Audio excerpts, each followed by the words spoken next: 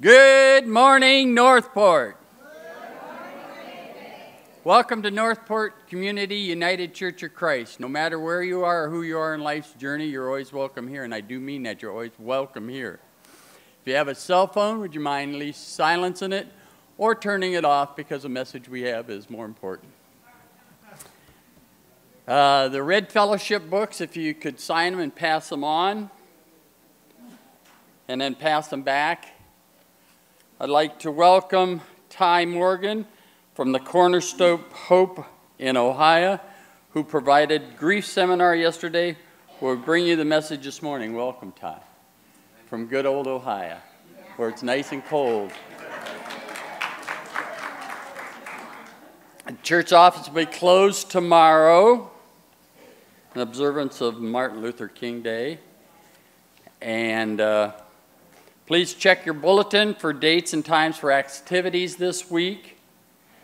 Sign up for the church directory photos will be held again today in the narthex. We want everyone to be included, members and friends.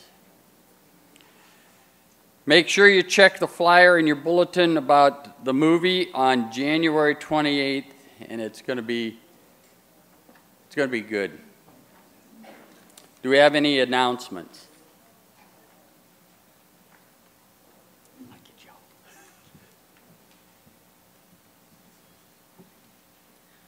I just want to say a quick word in thanking everybody for the wonderful response and words that we have been given for the decorations for this Christmas season. Sadly, it comes down today. Next week, it's going to look pretty bare in here. But I also want everyone to know I may have had a vision, but it was not me alone that did this. Everyone that had an opportunity or gave their time in helping to set this up, would you please stand and let everyone know that there's quite a few of us here that have done this.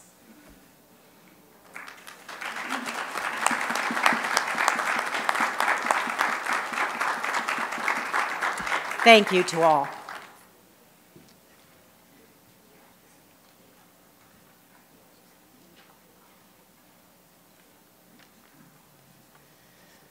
Good morning. I'm Lorraine Woolen. This is Arlene Hughes, and together with Terry Hong and Maggie Palmer. We represent the UCC Women's Group Fashion Show Committee. We're currently planning our annual fashion show and luncheon fundraiser. This is our leading fundraising event, and it will be held on Thursday, February the 16th.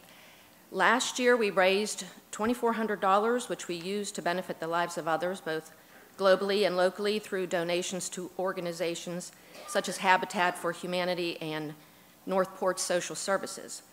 Our event committee knows that different programs and activities in the church regularly ask for your support, your time, your talents, and your money.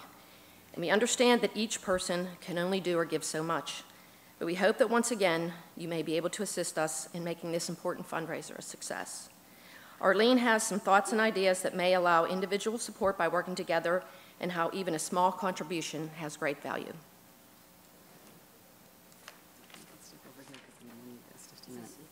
We have already found out what my name is. It's Arlene.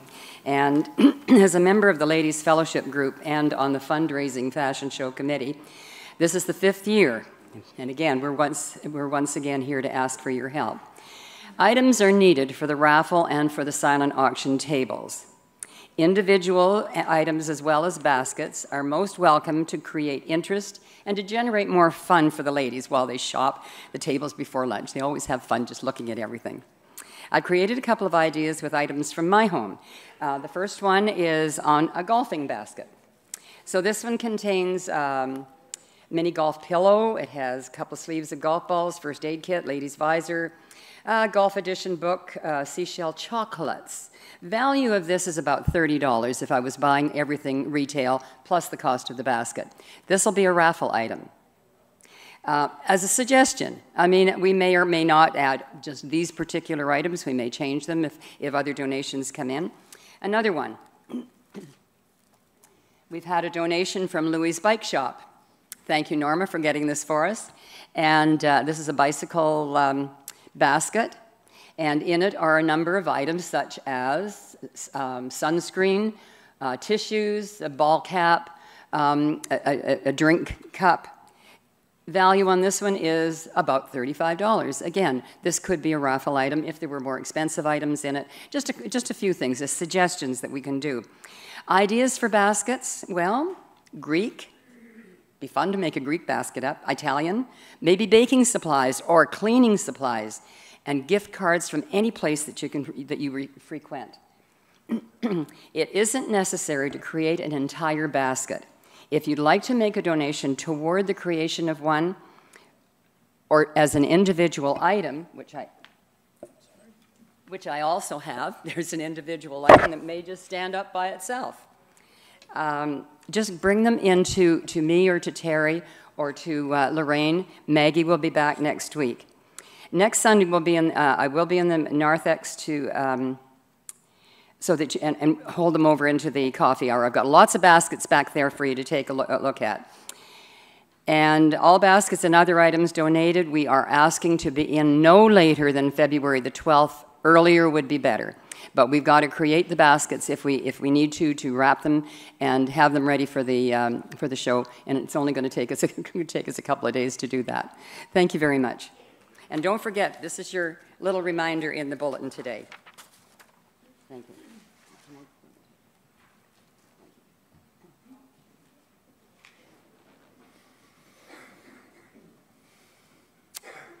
Is there any other announcements?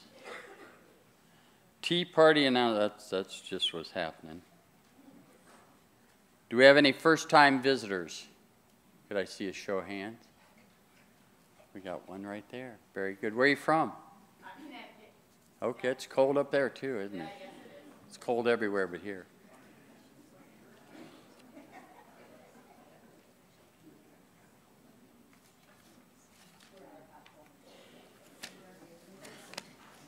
Another one back here. Vermont. it's cold ever. It's even cold down here. For us people who live here year round, it's very cold.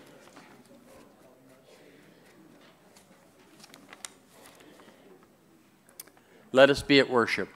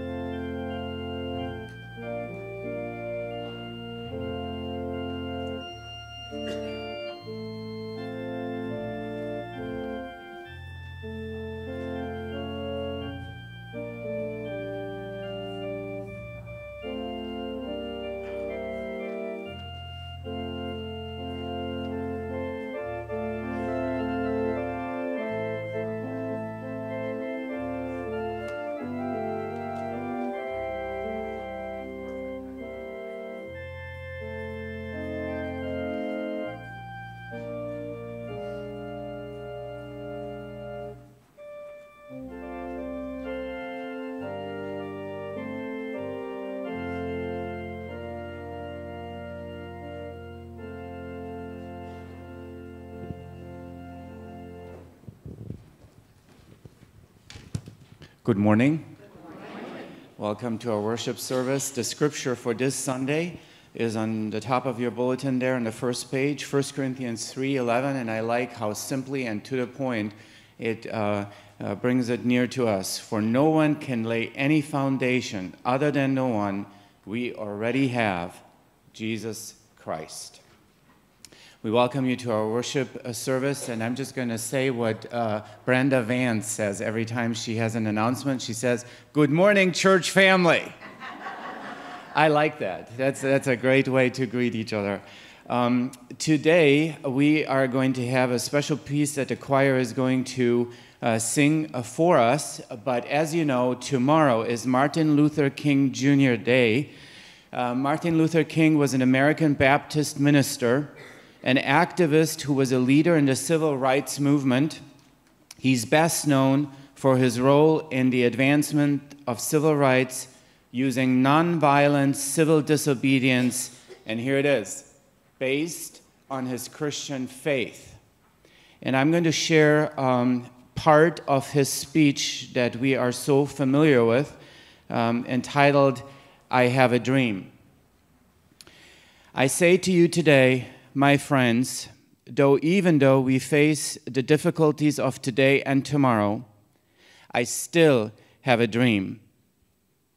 It is a dream deeply rooted in the American dream. I have a dream that one day this nation will rise up, live out the true meaning of its creed, we hold these truths to be self evident that all men are created equal. I have a dream that one day, on the red hills of Georgia, uh, sons of former slaves and the sons of former slave owners will be able to sit down together at a table of brotherhood.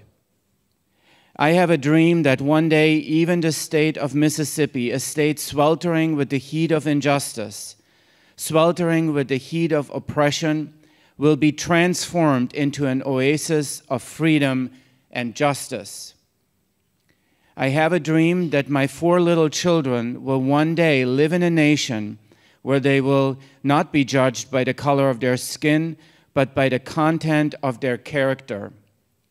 I have a dream I have a dream that one day in Alabama, with its vicious racists, with its governor having his lips dripping with the words of interposition and nullification, one day, right there in Alabama, little black boys and black girls will be able to join hands with little white boys and white girls as sisters and brothers. And this is the last part. I have a dream today. I have a dream that one day every valley, shall be exalted. Every hill and mountain shall be made low. The rough places will be made plain, and the crooked places will be made straight. And the glory of the Lord shall be revealed, and all flesh shall see it together. This is our hope. This is the faith that I go back to the south with. With this faith, we will be able to hew out the mountain of despair, a stone of hope. With this faith, we will be able to transform the jangling discords of our nation into a beautiful symphony of brotherhood.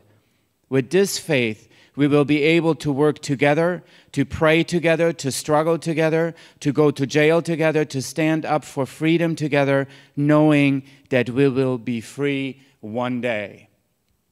Isn't that amazing um, that we have people uh, like Martin Luther King Jr um, in the history of this nation who were brave enough, who had a heart filled with faith, um, who were determined enough to have a dream, to be brave enough to have a dream, right? And to pursue it. And uh, individuals like Rosa Parks and others. So today we honor their memory. Uh, and again, Martin Luther King was born January 15th, 1929, in Atlanta, Georgia and he was assassinated on April 4th, 1968, in Memphis, Tennessee. Let us stand together today, and we're going to sing our opening hymn, I Sing the Mighty Power of God.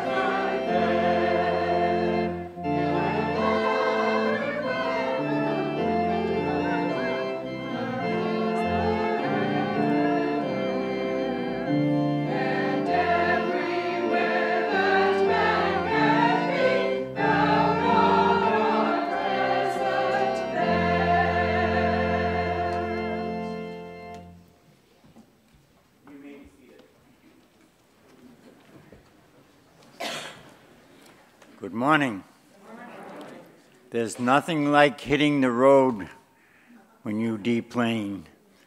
Last Sunday we deplaned in Fort Myers at 9 o'clock at night. On Wednesday night we were having dinner with the Tallmans. On Thursday morning I was at the men's club in, Park, in Holiday Park.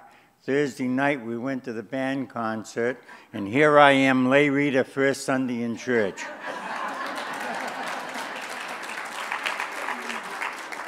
And people, my friends up north say, What do you do all winter long down there? Would you please rise and join me in the litany of praise and approach?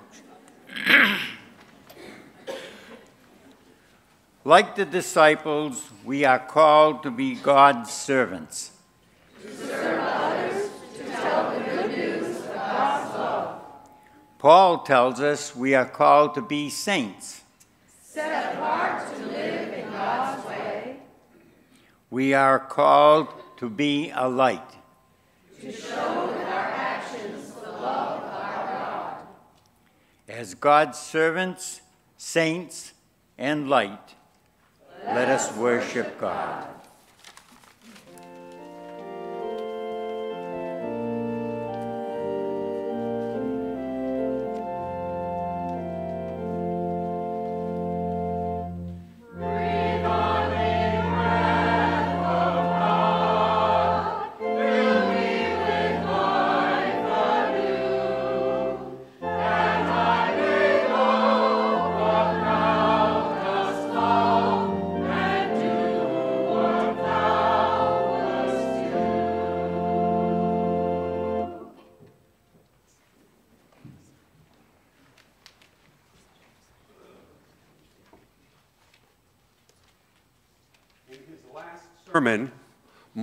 Luther King created his own eulogy.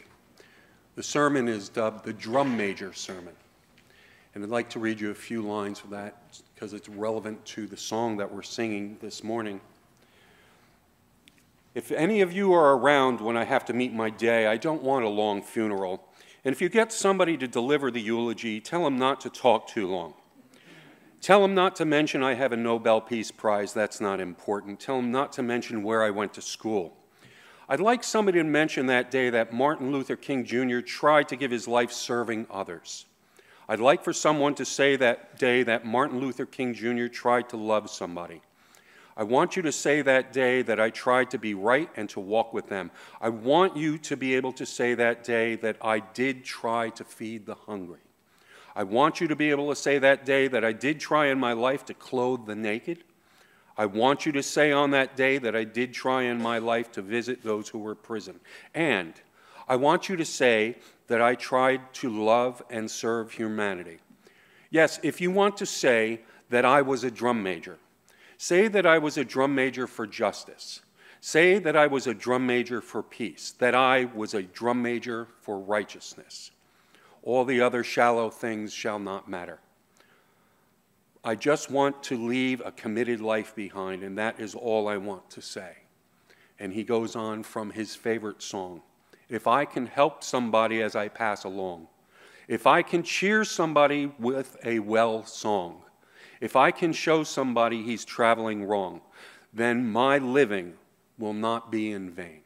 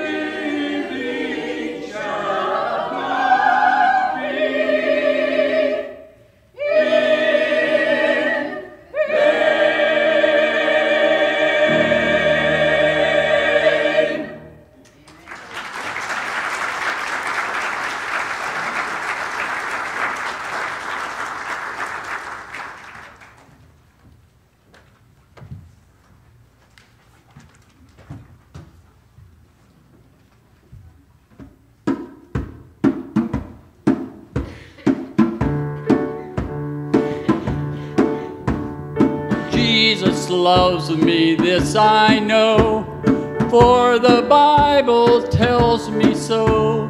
Little ones who them belong, they are.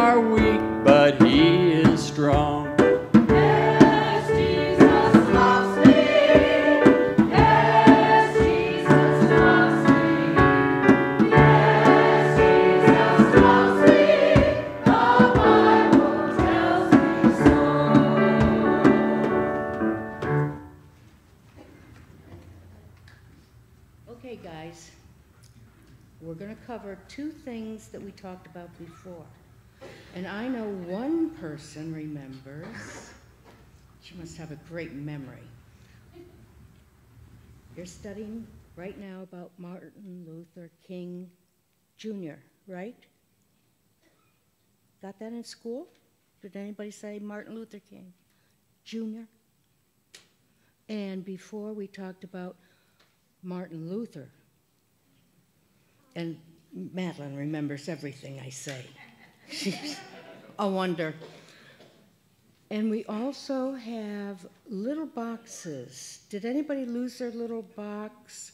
The, it's our thank you box. Did you lose your thank you box? Everybody's got a thing. Is there anything in it? really? All right. Okay. What we do put in it is our thank yous to God when we go outside and we hear a bird singing, isn't that wonderful? You live here in the U.S. It's a wonderful place for a kid to grow up, let me tell you. There are other places where kids go outside and the last thing they're thinking about is listening to a bird sing. They're thinking about maybe breakfast dinner, anything that they can get. So we have another thank you. Thank you, God. Write it down, put it in your box. Okay? Today we're going to talk about saying a prayer. How many said a prayer this morning?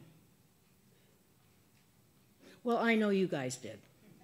You said a prayer this morning. And I'm going to tell you a little prayer that you can say every morning when you wake up before you go to class, okay? Before you get dressed go to school, here's a little prayer that you can say, all right? Come into my heart. Come into my heart. Come into my heart, Lord Jesus. Come in today. Come in to stay. Come into my heart, Lord Jesus. And then you take off for the day. Your heart is opened. Jesus is watching over you all the time, whether you say the prayer or not. But he's in your heart. And that could help some behavior for the rest of the day. If you remember, Mm, maybe I shouldn't say that word. Jesus is in my heart. Okay?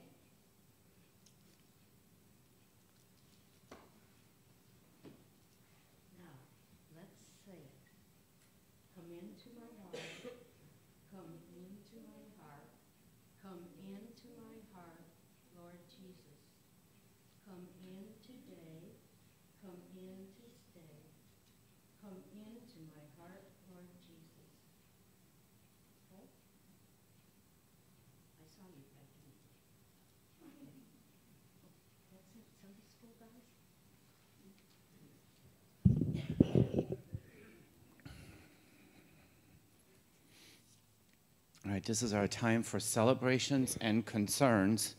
And I already told you that uh, Brenda made this birthday hat. and uh, last week we had somebody who was wearing it practically the entire service. So, are we celebrating any birthdays today? Oh, Patty?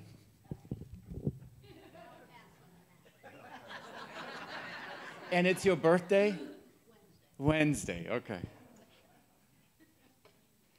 Happy birthday, and uh, I pray that you have a wonderful birthday with your family. And, uh, you know, I just want you to know that uh, it's been such a, a, joy to work together with Patty. She's a, an excellent office manager and such a blessing to this church, and so is her family. Happy birthday.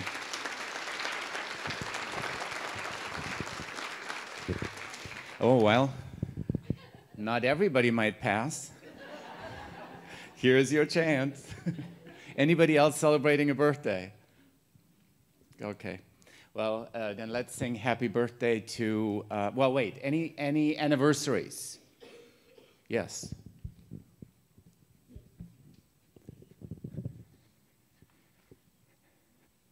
Andrea. We have a celebration we'd like to share with this church. We were married on December 23rd. So we've been married for three weeks.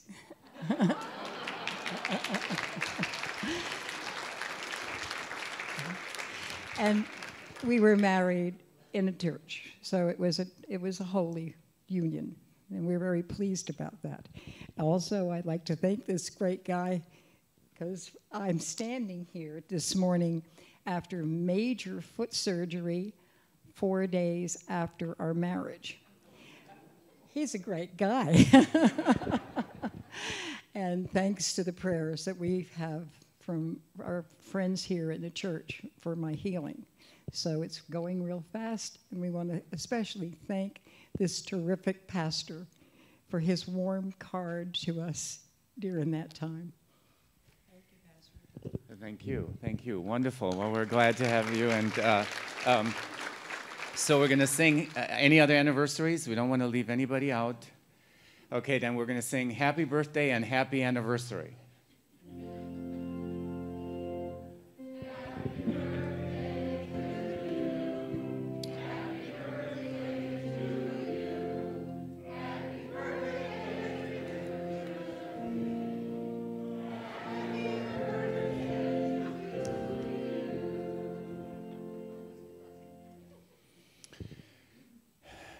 So uh, why don't you give me a show of, or us, a show of hands if you just came back from up north, real high, so we can see who, who all they are. Right there. Welcome, welcome. It's so good to have you back, and uh, we missed you, and it's wonderful to have you back and be part of our worship today.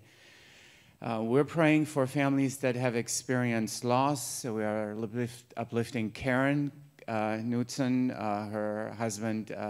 Philip uh, passed away very unexpectedly last Sunday, early morning hours. And Karen, I just want you to know we, we're here for you and uh, we're sorry for your loss and, and pray for you during this time and your family. We pray for the Beach family, um, the Bush family, and then also Robert um, um, for you, as I know you lost your mom. So uh, we pray for um, all those that have experienced loss. Lord God, we turn to you today and we just uh, thank you that you are truly the God who has all the resources that are needed to see every individual and every family member through their uh, loss um, and their time of loss. We pray for your presence, for your light, for your peace to make all the difference. And we ask this humbly in Jesus' name. We thank you for those that have returned from up north and that they're safely here in our midst again. And um, we worship you for that in Jesus' name.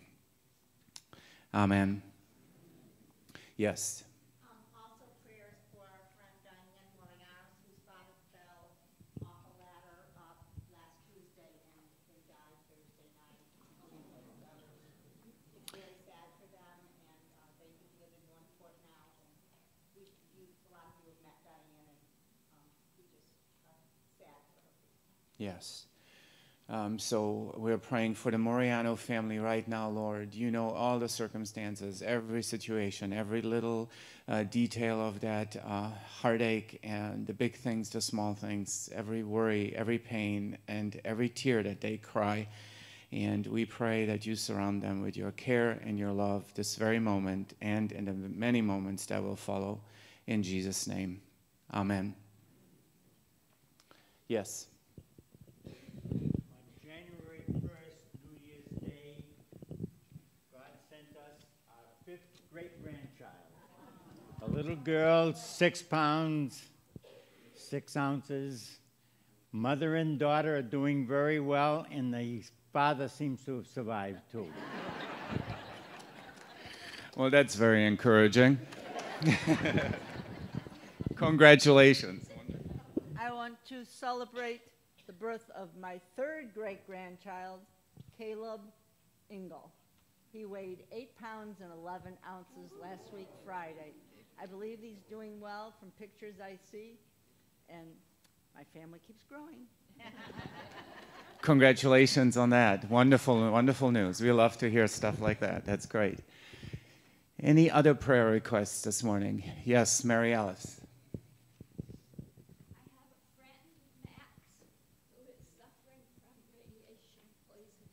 Oh, to hopefully begin a new therapy uh, this week, uh, and he needs prayers. Max is his name? Yes. Lord God, we pray for Max right now. We know that you see him, you know what his needs are, and we pray that the poison out of his body would be removed, um, that he would be healed from cancer. And we um, just entrust that whole situation and lay it into your hands, and we pray it in Jesus' name. I have to share something with you before we go on with the prayer request. That um, was an extremely humbling experience that I had this uh, past week. Somebody asked me uh, at the German service to call an individual up and pray with them because they were going through also uh, uh cancer treatments. And so I, I, did receive the phone number and I called up and uh, I talked to the husband first, and then uh, he said, You know, I'll put my wife on the phone so you can pray with her. And um,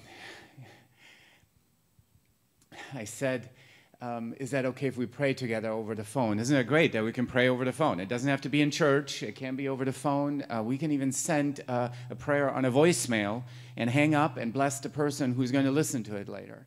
But anyway, I, I um, uh, offered the prayer, and you know, she said, Pastor, just wait a moment. I'm going to put the phone down so I can fold my hands. That sentence blessed me so much. You know why? Because it showed me the condition and the position that her heart was in, right? She said, This is important, God. I want to concentrate on what you have for me. And, um, you know, that's, um, I, I love that part. And then DJ gets up today and she's talking about prayer, you know. So when we pray to God, um, everything that He gives us is unmerited favor. We haven't earned it, it's a gift. And this lady making that statement, let me fold my hands, let me get ready uh, to be in that posture of humility and prayer, is what God's looking for. And so I just, um, that really blessed me, and I hope it blessed you. Any other prayer requests? Go ahead.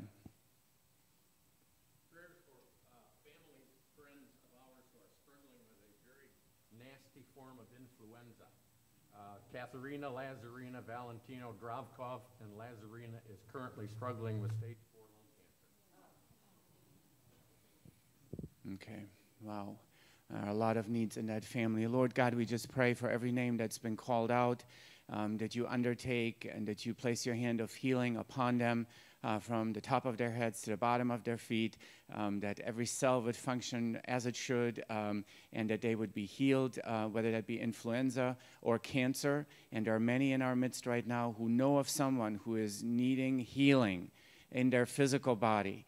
And in faith, we turn to you and ask you uh, to perform that healing. Um, and we know it's unmerited. Um, we, we humble ourselves before you and we just ask you, Lord, um, to, to bring healing to all those that are sick in Jesus' name. Amen. Yes.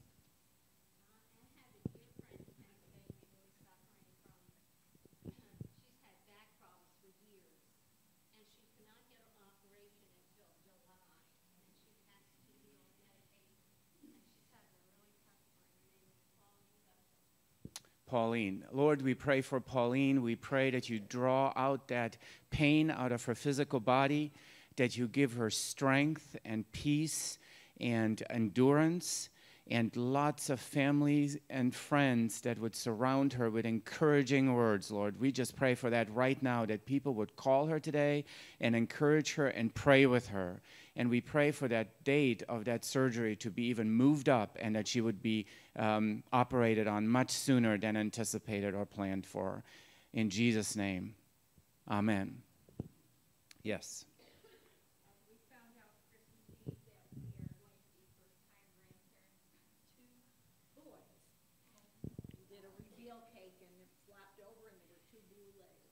Oh, wow. Congratulations. That's wonderful. Let's give him a hand here. That's great.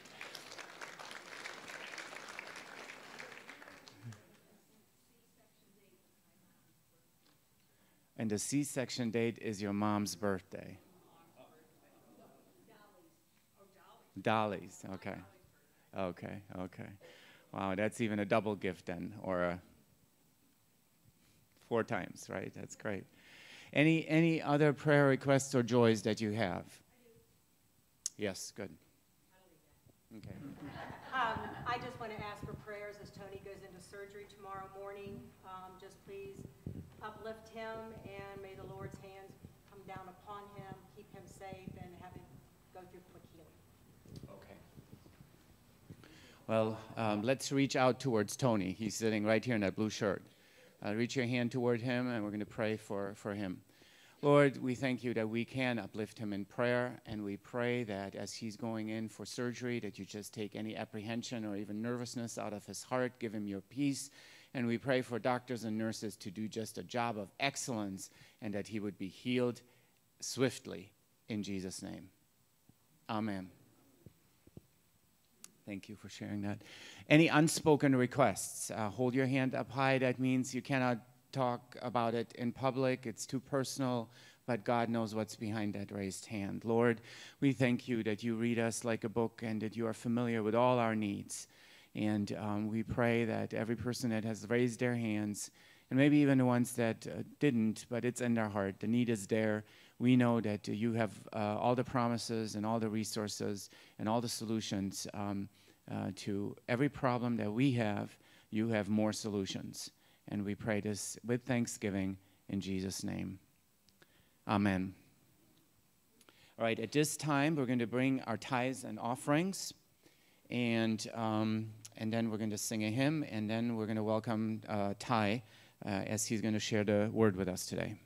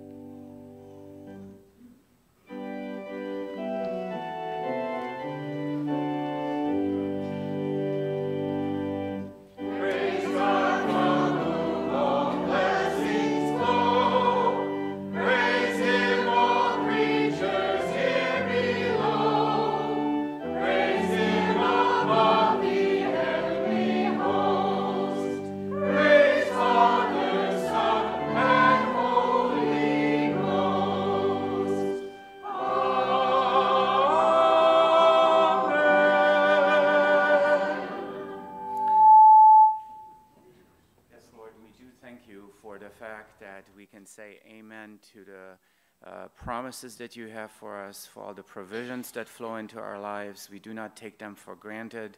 We say thank you, and we do that in Jesus' name. Amen. Let's remain standing, and we're going to sing verses 1, 2, and 4 of My Hope is Built on Nothing Less Than Jesus Christ and His Righteousness.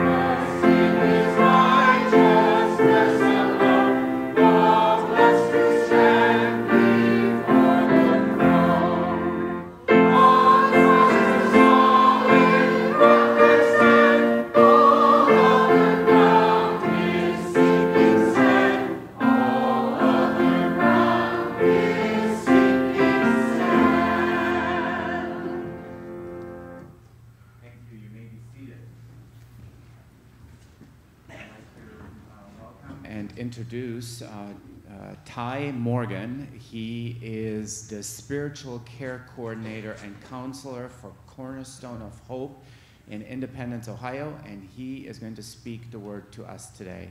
Um, so uh, let's give him a warm welcome. Ty Morgan.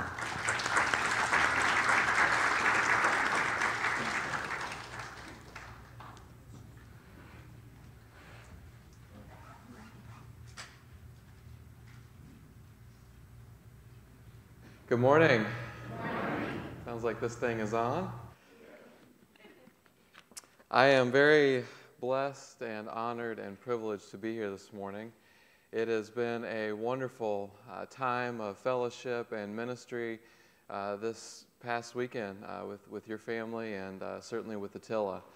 And I am honored that God would choose to minister the way that He does in my presence. And if, like that song that was sung earlier, if God can help someone through anything that I say, I am, I am just honored and, and blessed and privileged. So that is my prayer for my time as I share with you this morning. That God shares something with you that you need to hear an encouragement, a word from the Lord. And I anticipate that because He is faithful. He is gracious. He is merciful. And He wants nothing more than for all of us to experience Him in a way that we are transformed more into the likeness of Christ. I am dreading a little bit going home. There's going to be a 40 to 50 degree difference when I step off of the plane.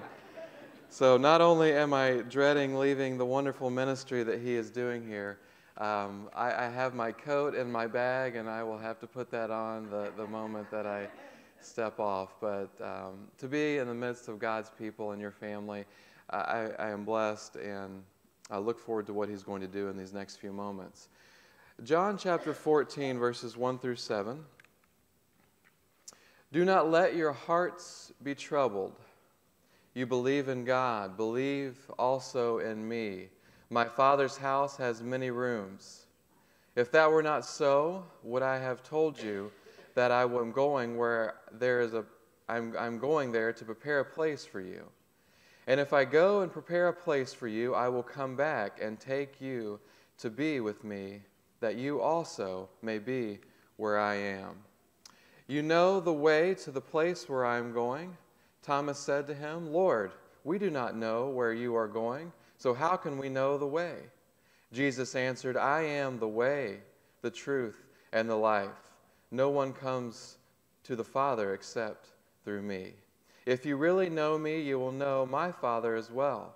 From now on, you do know him and, uh, and have seen him. That comes towards the end of Jesus' ministry. The men that he is speaking to have spent many days with him, and they have learned from him many things about God. And in that statement, they learn a few more things about God. Jesus is proclaiming a few important things for us today to focus on as he makes the statement that I am the way, the truth, and the life. When Jesus makes the statement, I am the way, he is saying to us boldly and proclaiming that to find God, you find him through me. That because of God's love, he has sent me to show you all that there is no barrier anymore, that God is available. And by saying that I am the truth, Jesus speaking that I am the truth, reveals to us God's character. If you want to know who God is, you study the life of Jesus, and we can see the profound love of God in the way that Jesus lived and the way that he ministered. We can see the supreme authority in God in the way that Jesus moved about the world. And when he encountered evil, he simply spoke, and the evil was forced to retreat. We can learn so much about our great God just looking into the life and ministry of Jesus. And Jesus proclaimed that, being that I am the truth. And then that statement, the life, the opposite of life being death. The only way for us to find life is to experience and to know God and to accept His Son Jesus as our Savior. And Jesus saying, I am the life, tells us that through me we can have fullness and abundance and joy and peace and fulfillment. And I think all of us want that today. More than anything, we as humans are on a journey of finding purpose and fulfillment. And if we don't have it, we are at a loss. We are experiencing a life less than the one that we were created to live. And in us is a deep yearning for more. And I think if all of us were honest, we have yet to reach the full fulfillment that God speaks about because it is only going to be achieved in heaven. But yet, we are to strive and to yearn here to experience life to the full that Jesus promised us. And if I could sum those three words up, I would sum them up with one word, and that would be hope. That even though we have a deep yearning inside of us, we have hope. That even though we look around this world and we see that all is not as it should be, you can turn the news on every day. You can talk to your friends and your family. You can just observe what's going on around you, and you know that this world is not all that it should be. But there is hope. There is profound hope, and that is in Jesus. That is in God. That is in our Maker and Creator. And I am proud to know Him today. I am proud to say that I have had an amazing encounters with this individual person named Jesus, with His Father who is God, and with the Holy Spirit. And I want to tell you a little bit about that today. As I talk about hope, I, I thought to myself, God has given me a story. And as He adds to that story, I regularly hear Him telling me that I am to share it. Your story, your story of transformation, the story of grace that is in your life is not something for you to hoard up and to keep and just share with intimate friends or family. It is for you to share and to proclaim. And so I'm going to do just a little bit of that today as I talk to you about hope and the way, the truth, and the life. You see on the screen up there, Yahshua. Yahshua. And as many of you know, in Hebrew, that is what they would have addressed Jesus as Yahshua. Yahshua. And I'd heard that many times throughout my life. But I was blessed with an experience recently, and I'll share a few, uh, a little bit more about that in a few moments, And that experience was to go to Israel and to walk the ground that our great Lord walked on. And to be in the place where he made his covenant with Abraham, Jacob, and Isaac. To stand in the place where Jesus performed his miracles and he called the disciples. And I really enjoyed this name of Yeshua, and it, it is yet to leave my mind. And every time I hear that, I, I have this, this intimate image of this loving God who walked around and who ministered and who loved and who spoke truth and life into the darkness. And I address Jesus often as Yeshua because it means something new to me today than it did even just six months ago. Yeshua. Yeshua. The next picture I want to show you, is, or the next slide I want to show you, is a picture of me and my father. We look a little bit alike, I believe. And my father was the first person to introduce me to Yeshua. My father was a man of God. He is a retired pastor. And I remember his prayers, always praying. Every time we'd get in the car to go somewhere, I would think, We just want to get there, Dad. Do we really need to pray this time? We'd get there a few minutes earlier if we could just pray maybe before we get in the car or pray last night. But I just remember him being so adamant that Yeshua is so important. We need to invite him everywhere we go. God provided me with a nurturing family, a loving family, and a godly family. And from a young child, I remember being induced, introduced to Yeshua. The next picture I want to show you is of me at a camp. I'm standing on the balcony of a lodge that I used to stay in, and I came across this picture. I, I didn't remember uh, seeing it previously, found it about seven or eight months ago. And as I look at that picture, I can see me as a young boy, this would have been in the early 90s, being so happy to be on this, this piece of the earth. This camp meant so much to me. It was a place that my father took me every summer. I spent 25 summers at this camp, year after year after year, and it was a church camp. And every summer, I remember God speaking to me and God calling me and God inviting me to a life of fullness and of hope and of purpose and of light. And I remember God asking me at, these, at this camp regularly to follow Him. I remember invitation after invitation, summer after summer. Although we were having lots of fun and swimming and doing all the things that you do at camp, the most profound memories I have of that time at camp were hearing these words from God Follow me. Follow me. Drop everything, pick up your cross, leave your agenda, forget the world, and follow me. Because nothing else is worth living for. Because I am the way, the truth, and the life. And I am blessed and honored to have, at a young age, heard the Lord speak those words to me. In 1996, my life was changed drastically. In 1996, I was sitting in an airport with my father. This would have been in May.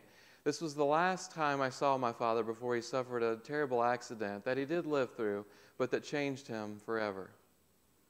I found this picture, and again, I was looking through pictures about seven or eight months ago, and I found this picture. I, I was just taken back, and I thought, not only do I look clueless there, but I am clueless.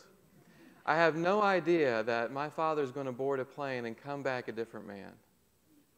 My father went to Brazil on a missions trip. He was on a roof of a building and fell 20 feet onto concrete. And it is a miracle that he survived.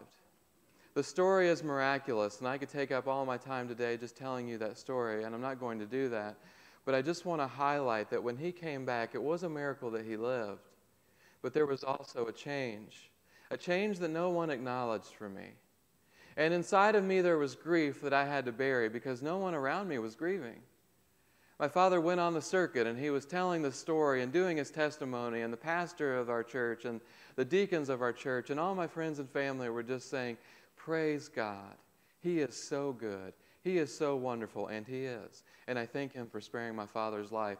But what I didn't know and I know today is that I lost my father. The man who mentored me, the man that I looked up to, the man that was strong and powerful and smart and intellectual lost his ability to do many of the things that he once did before. He lost what was estimated about 60% of his functioning. He broke his back, had a traumatic brain injury, lost taste and smell, a lot of his memory, and many other things. And I lost also my mother because his care was so intensive when he came back that she had spent most of her time caring for him. And I lost parents. They were around, but I was no longer parented. And I began to assume that for me to do life, it was going to have to be on my own. And at a very young age, at my teenage years, at a critical point in my life, I was forced to try and figure life out on my own, or at least I thought I was. That call to follow God began to fade into the background, and I began to follow myself, my own strength, my own energy, my own efforts. And I began to enter, en- engineer my own life, my own security, my own future. And I began to depend not on God, but on myself. And this led what to be two decades of fooling myself that I was answering the call to follow him, while all along I was following myself. This all came to this all came to a point in my life in 2014 where I found myself in the darkest place I'd ever been. After years of half heartedly following God, and, I, and the good things were happening. I got married, I have three kids, I got a couple degrees. I was always a part of church. I never left God altogether. But inside, I was dying. Inside, I was following Him a little less as I got older and began a little more each day, depending upon my own energy. And again, in 2014, I found myself at, at our church it was in the middle of the day. I had no business being there. I should have, I should have been at work, but I called in work and said I'm going to be in late. And I just went to the church and I sat down and I, I was crying out to God because I, I, was, I was desperate. I was broken. I was lost. I was in despair and I was in total darkness. And I was in, in the midst of responsibilities that I couldn't keep. I was a father. I was a father of three. I was a husband, and I was in the middle of a job that was highly demanding. And uh, I was actually working at Cornerstone at the time, and people asking me for help with their grief and with their pain and with their sorrow, and I was empty. I was empty. And I, I went to this closet where I knew that we kept Bibles, and I grabbed a Pew Bible. And I opened that Bible up to the Gospels, and I thought, I'm going to read it. God is going to speak to me in this moment. He's going to help me because I need His help. And I opened up to the book of Mark. I didn't plan to open up to this book, but I did. I opened up to the book of Mark, chapter 2, and I started to read, and I came across those words follow me. And I remember reading those words, and I remember thinking, I don't feel anything. I don't hear anything. This might as well be the Sports Illustrated or the newspaper. These words are empty for me. And I remember being so angry at God and almost eh, just in, in anger saying to Him, You will speak to me now. You will zap me. You will allow these words to promote transformation in my life, and you will remove the darkness and bring about light. Well, he didn't do that. He left me in that darkness, not because he didn't love me, but because I needed to be in the darkness a little longer. And so, what did I do? Well, I did what I thought was best, and I ripped that page out of the Bible and I put it in my pocket, and I said, I will read this continually until you make it mean something to me. Well, weeks and months went by, and that piece of paper ended up in my wallet, and I kind of forgot it was there. And I kept running the race, back on the treadmill, in my despair and darkness, hiding from everyone, not admitting to anyone that I was in the place that I was. But deep, but deep below that darkness, there was hope. Looking back on it, I, I can see that and I can know that. And God was at work. That was in February. I, I, even dated that, that piece of paper you see up there, the Bible that I, page that I ripped out. And I've asked forgiveness, by the way, for that. So I think I'm in a good place today. I don't, I don't advise ripping pages out of the Bible. I've never done that before, and I, I won't do it again. But I was, I needed help. That was in February. In May, I got a call from a friend, and he invited me to go to this place. And I think you all recognize that. That's the Coliseum. And I thought, this is it. God is sending me to Italy to get healed. That's it. I'm going to go to the Colosseum. I'm going to go to the Vatican. I'm going to be on this missions trip to help these churches over there. And I'm going to come back a new man. I'm going to come back and be everything that I know that God wants me to be. I'm going to be the father I should be. I'm going to be the husband I should be. And I'm going to be the world's greatest counselor because he's going to zap me. Well, he actually took me to Italy to show me quite the opposite of what it is to be zapped. He took me to Italy to show me how sick I was. 4,000 miles from home, I remember that I felt just as these words say. It is not the healthy people who need a doctor, rather, it is the sick people who do. I have come to call those who do not think they are righteous, but those who know that they are sinners. I was lost, I was sick, and I needed a doctor desperately. God had no desire just to zap me. God had the desire to break me. And so, 4,000 miles from home, I was in this storefront church weeping day after day. Weeping. More broken than I'd ever been in my entire life. And it was a beautiful broken. It was a brokenness where my own energy and efforts were useless. I couldn't hold back the tears, I couldn't pretend. And I was 4,000 miles from home, away from everybody that I knew, and away from all the comforts of life, crying to strangers, saying that I am so broken and so far from God, and that I need His help. It was also in this church that He exposed this weakness in my life.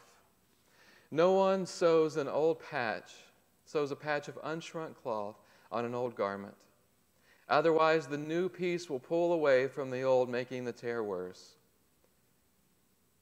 And no one pours new wine into an old wineskin.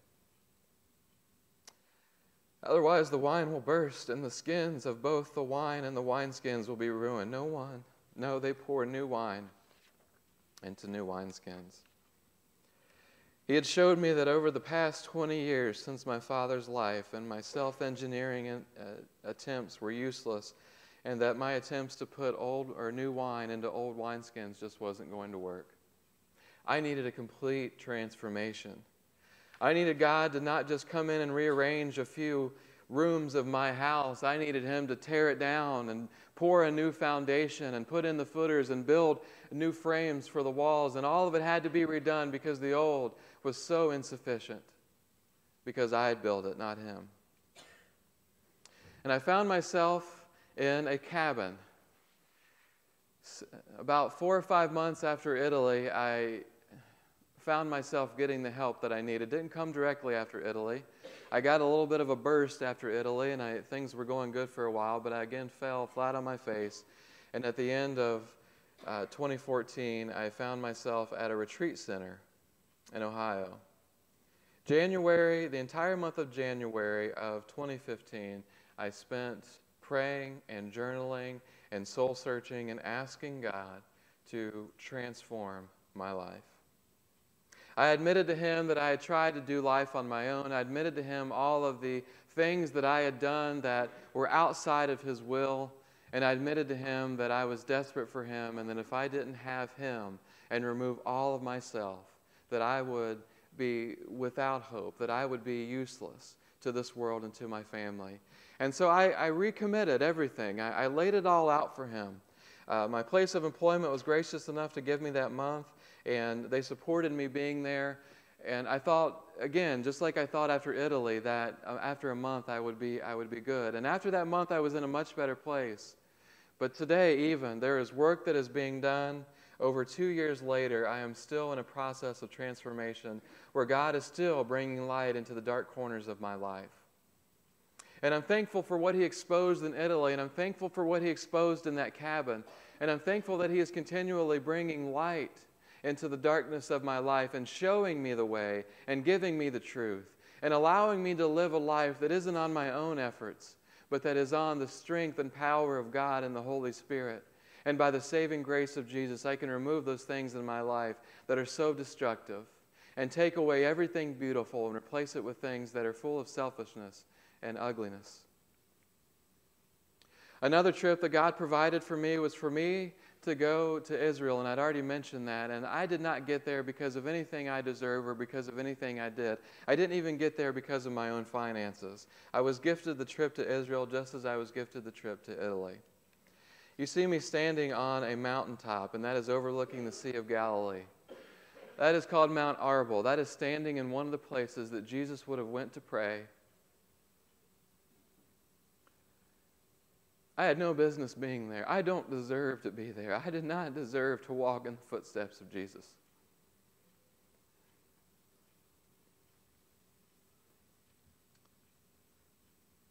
But he took me there to teach me about redemption. He took me there to expose to me the redemptive work that he had done in my life.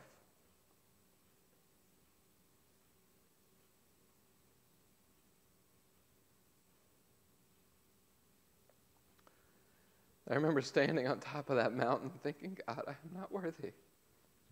I'm not worthy. But He loves me. This is the Mount of the Beatitudes. I remember standing there and thinking, I'm restored. You've restored me, Lord. Out of your grace and mercy, you've restored me. And I remember sitting on the shore of the Sea of Galilee, and I opened up my Bible and I began to read and ask God to speak to me. And I didn't intentionally do this, but I opened up my Bible and I ended up in Mark chapter 2. And I sat on the shore of Capernaum where Jesus asked Levi to follow him.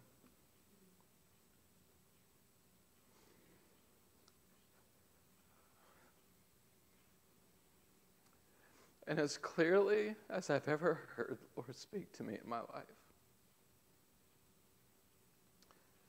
I heard those words again and they meant something to me. And I had forgot that that was in my wallet. It didn't hit me till later that day what I had read and what he had done for me.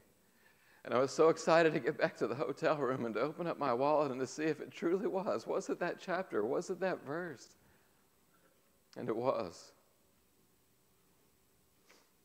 Over two years after I had read that scripture and it meant nothing, he had taken me to the footsteps of his son, set me on the shore of the Sea of Galilee, and showed me the miracle of restoration and redemption that he had done in my life. He restored to me the hope that I had lost along the way. And again, if I can sum those three words up I am the way, the truth, and the life I would use the word hope. Rick Warren says that hope lingers in the hearts of every man.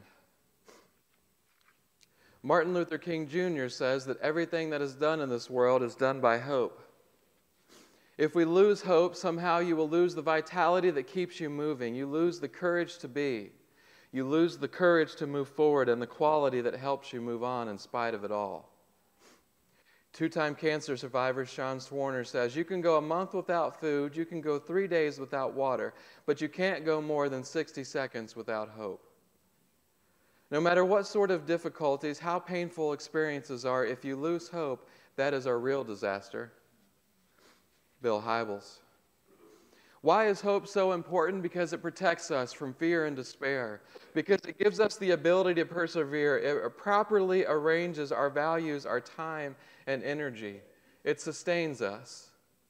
It instills peace and joy. It provides eternal perspective. It allows us to heal from the wounds of pain and grief. It gives life, courage, and strength. It removes excessive anxiety and transcends pain, sadness, and trouble. Why hope? Because without it, we would be consumed with self enhancement, self preservation, or greedy control of our lives and others. Jurgen Moltmann said, Totally without hope, one cannot live. To live without hope is to cease to live. What is hope? Desmond Tutu says that hope is being able to see that there is light despite of the darkness. Emily, Emily Dickinson says, Hope is the thing with feathers that perches in the soul and sings a tune without words that never stops at all. Hope itself is like a star not to be seen in the, in the sunshine of prosperity, only to be discovered in the night of adversity. Charles Spurgeon.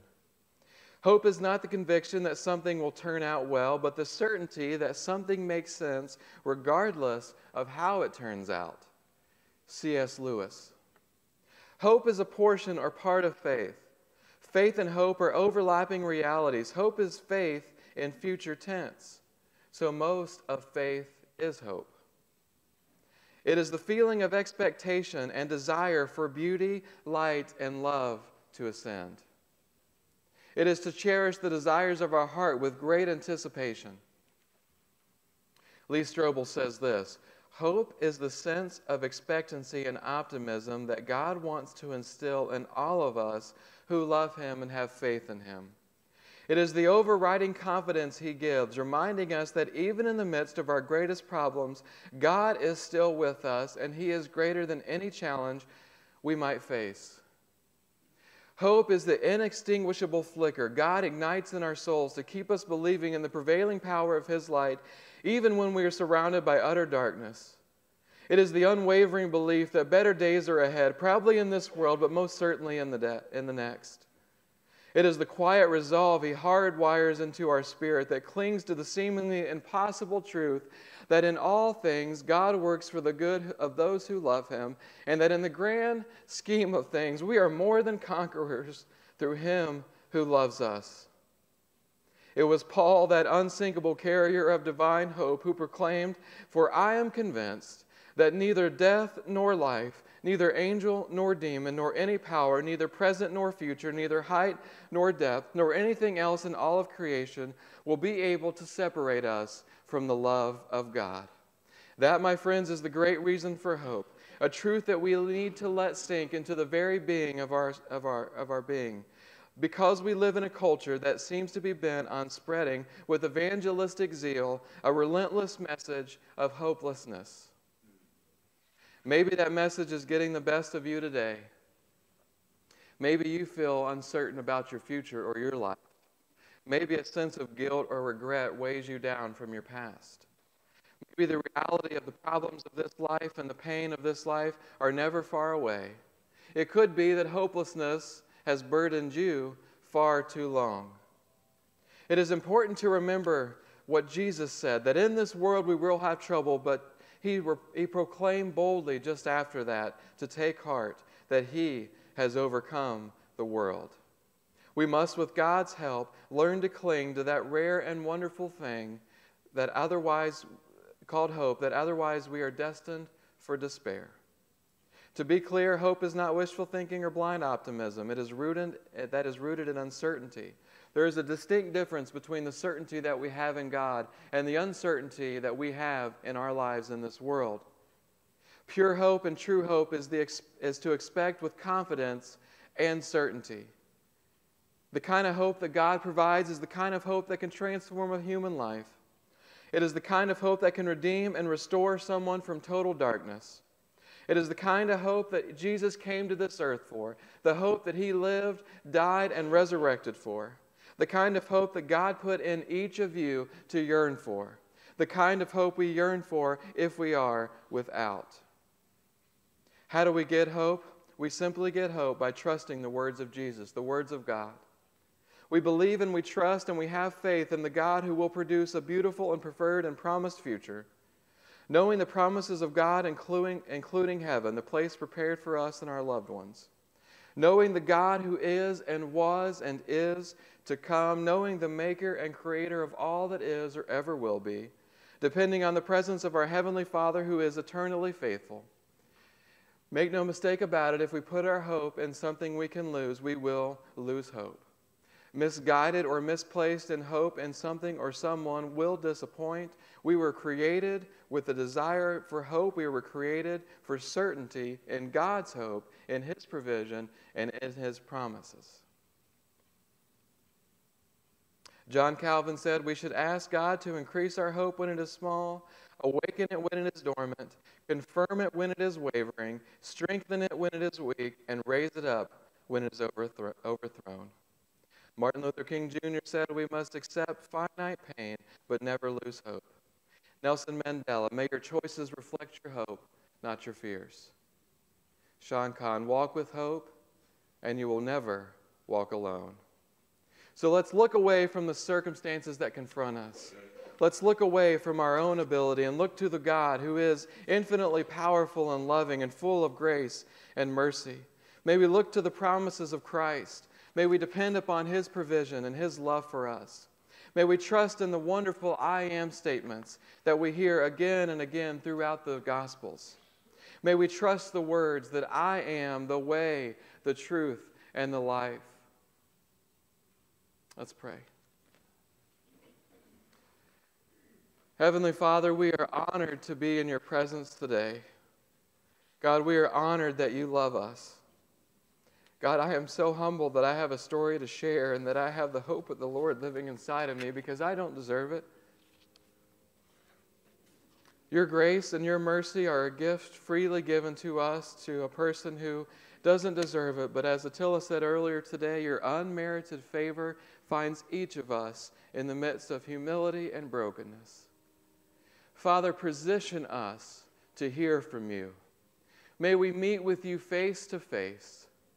May we know without a doubt that we have encountered the Lord Almighty. And Lord, may we all have a story to share of the amazing ability for the I am, the way, the truth, and the life to restore and to redeem. And God, we claim your promises, we claim your authority over any darkness that may be represented in this room today. Any pain, any struggle, any addiction, any affliction, anything that is represented in this room, Lord, that is a darkness in someone's life, we claim by the power and the blood and the authority of Jesus right now that you began to wash over them and that the amazing hope of our Lord Jesus rises up in every heart and in every soul in this room and that we lift a word of praise to you, Lord, that brings a smile to your face. God, we are desperate for you. We praise you. We love you. We pray all of this in the strong name of our Son Jesus, or your Son Jesus. Amen.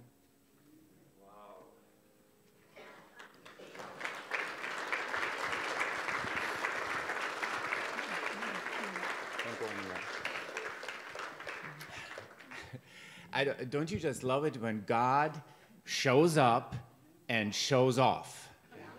wow. I mean, I could have listened to you another hour uh, or more. That was wonderful. And you know what? As I was hearing you share your testimony, I thought, we're going to have to have him come back.